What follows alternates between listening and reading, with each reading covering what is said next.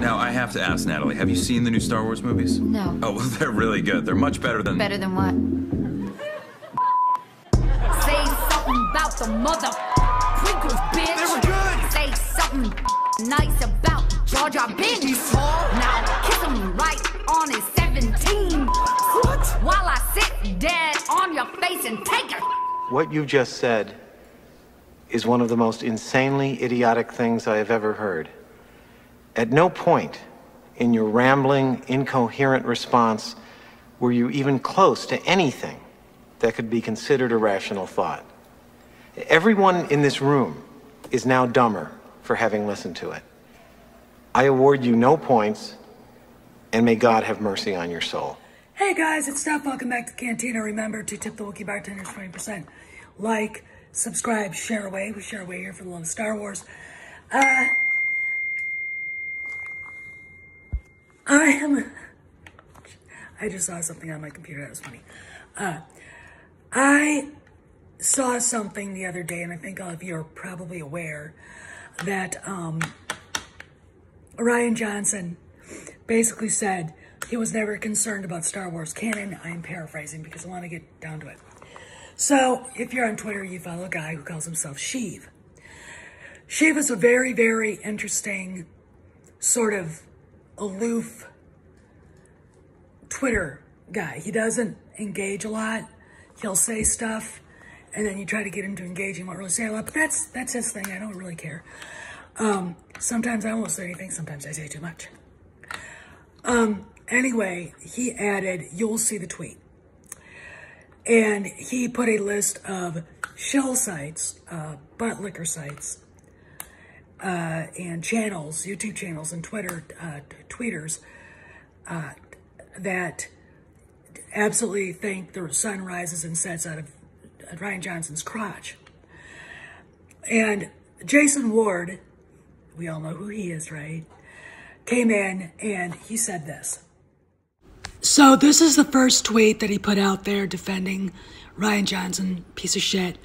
This is where these tweets are just him devolving into an angry little woman who desperately needs therapy, help uh, for the narcissistic personality disorder they have.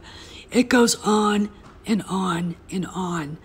Uh, this guy's, first off, a bully, and he's batshit crazy. I don't know what anybody else thinks, but I'm pretty sure he is. The rest of these tweets uh, uh, from him just being a dick and defending the dick, the, the king of the dicks, to devolving into a hysterical old woman. Okay, and he's a kind of fuck fucktard that when they opened up Galaxy's Edge at, at Disneyland was was mocking uh, Harrison Ford, Mark Hamill, Billy Dee Williams, uh, George Lucas for being older.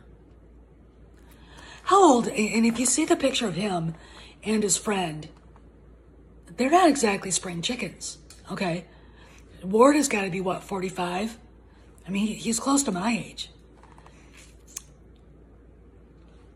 And really, you're talking about you want younger people. And yet, look at you. Look at look at the here are the pictures. So this is the photo that Jason and his very ancient friend, who looks like he's about 65, were mocking. There's his very ancient friend whose name I can't remember, but old folks home. And here's Jason, balding, fat, flabby, gross, Jason. You know, and these guys are complaining and yelling at us saying that that that Star Wars needs new blood. Yeah, la la.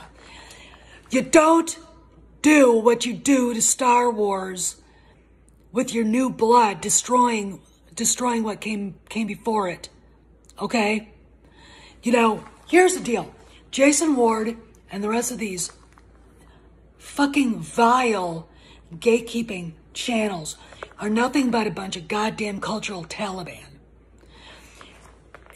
They, they supported basically destroying Star Wars, the mythology, and all the rest of that shit. For what? Oh, you can get tickets to the premiere.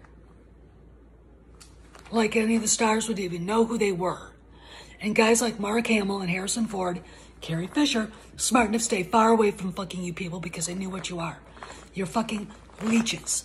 You're you're you're you're social uh, uh, cachet, cachet searching for leeches. Okay, that's all any of you are. But look at those tweets. He devolves into a hysterical old woman. All right? And then what it turns out is you realize you realize these are the ravings of someone whose IQ is, is about his own shoe size. Okay? That's why I, I let off with the Happy Gilmore quote from from uh the, the was it the principal, the teacher? I mean I'll give you a, I'll give you a, a little example. I saw someone post on Twitter. They'd taken their kid to Galaxy's Edge, and the kid kept asking, "Why isn't this Star Wars? Where's George? Where's Luke Skywalker?"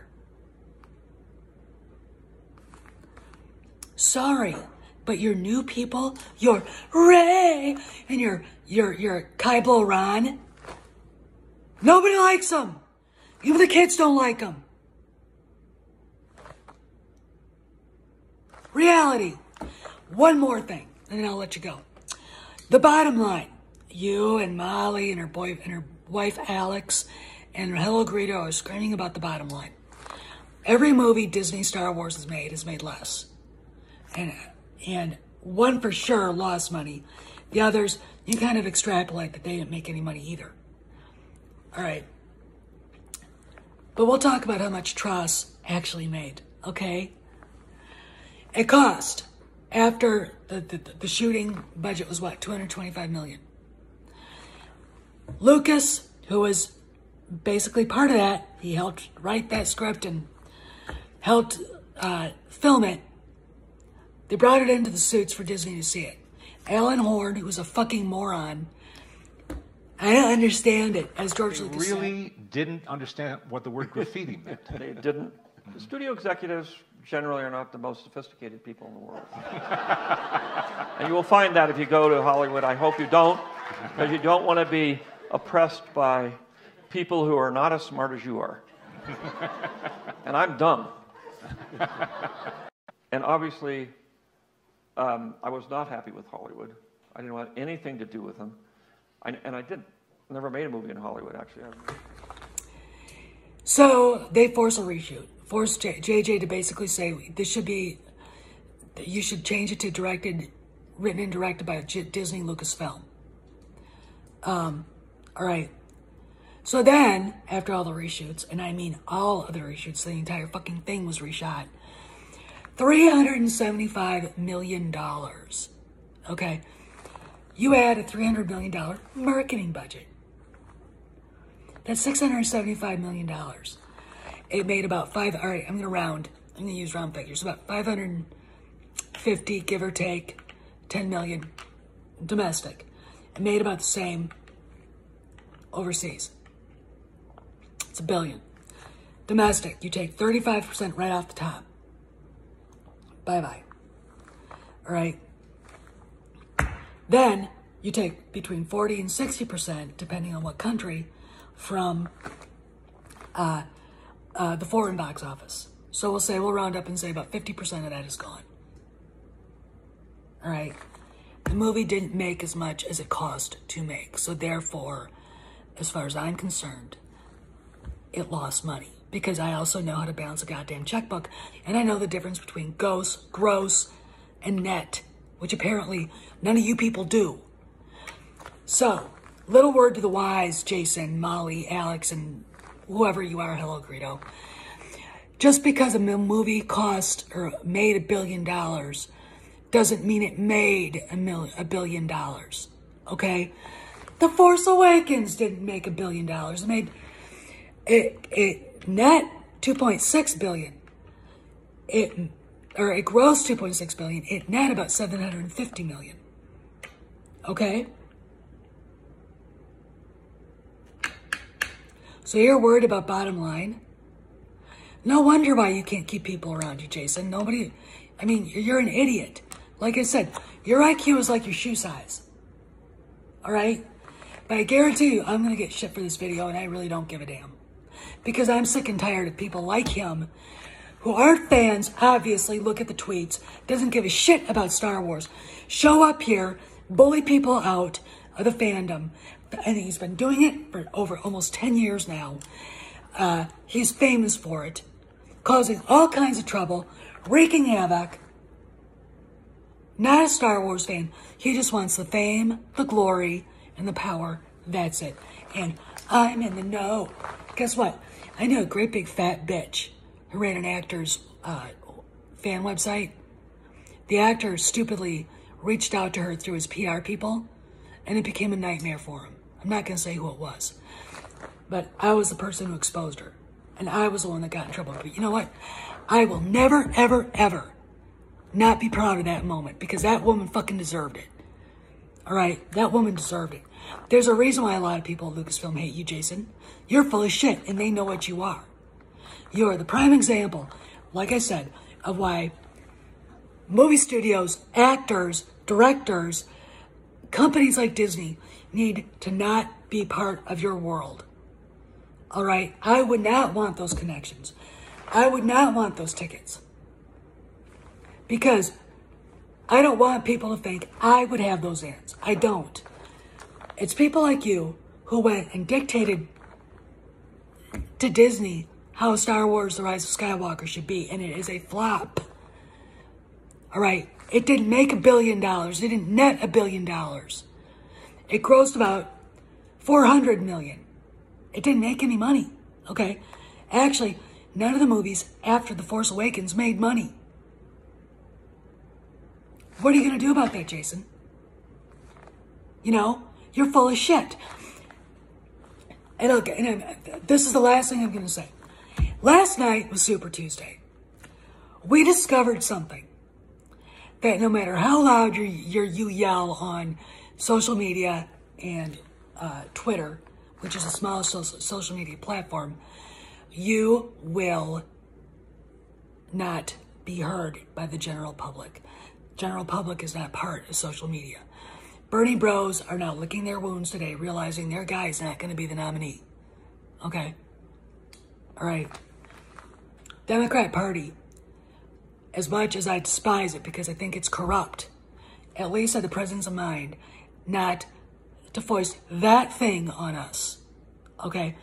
This proves that Jason Ward can scream into the void of Twitter and, you know, get down on his hands and knees in front of Rian Johnson.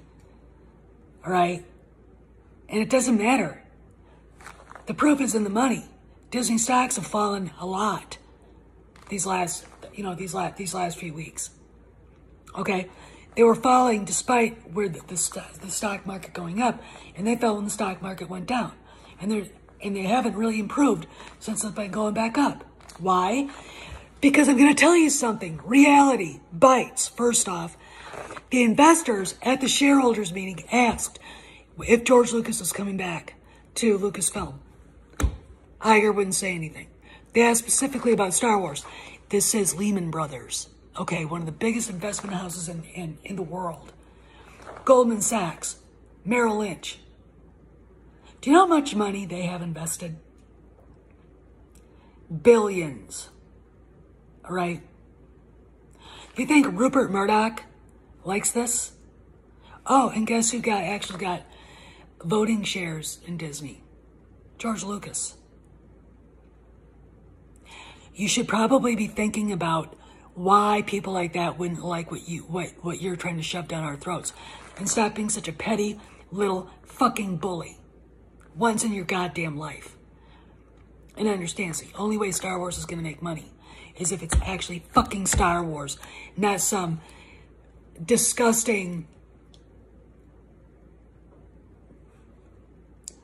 SJW mindfuck okay yeah I said it I don't give a shit.